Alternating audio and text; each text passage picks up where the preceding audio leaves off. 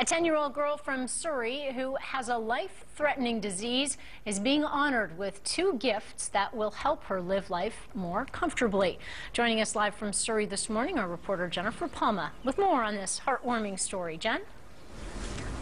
Good morning, Lynn. Yes, we're here with the York family. They're about to get a very special present to help out their now 11-year-old daughter, Selena. Good morning, Selena. Good morning. Are you excited? Yes. Yes.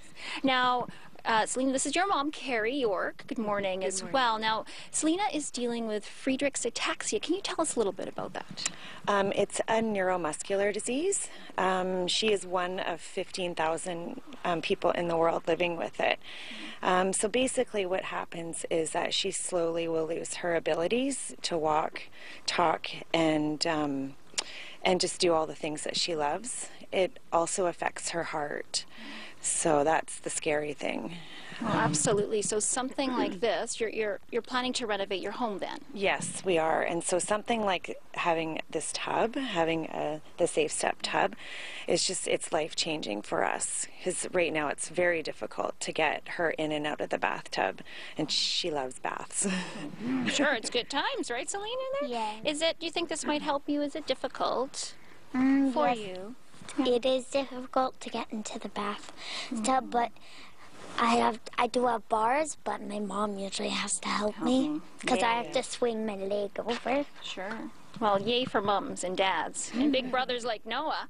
Now, we're also joined with Robert J. Hartley from Canadian Safe Step Company, Safe Step Tub Company. Good morning. Good morning. Um, so, what will you be presenting the family with? With a, our state of the art walk in tub. Selena is the first nominee in our Safe Step Cares program. It's a nationwide program. We're very, very pleased and proud to be able to offer this to her, assist her in her quality of life at this time. Excellent. So let's see this tub. It's right here. It's in your favorite color, Selena, wrapped up in purple. and so these lovely ladies are going to help bring it up. Have you seen it yet? No. No. Here we go. Whoa. Whoa.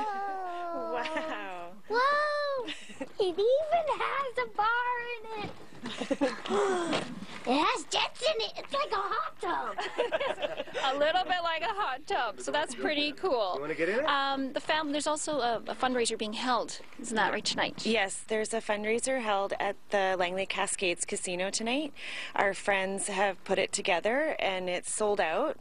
So it's just yeah, we're we're pretty amazed by just the love of the community of Langley. It's just been really great. Yes. And as well to this company. And to and to Safe Step. Thank you so much, Safe Step, because this is really life changing for us.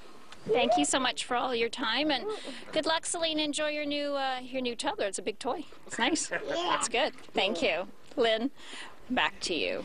All right, Jen Palma. Thanks for the update on that story, and Jen will have more on that on the News Hour tonight.